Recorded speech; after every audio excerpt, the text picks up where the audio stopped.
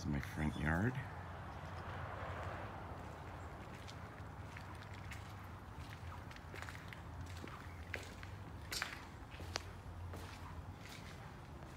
And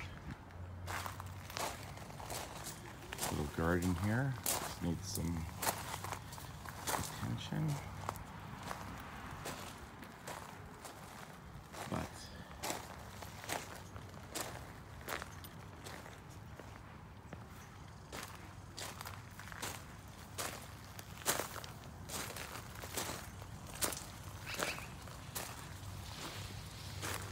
And if I was a kid, I'd be hiding in there behind the rock.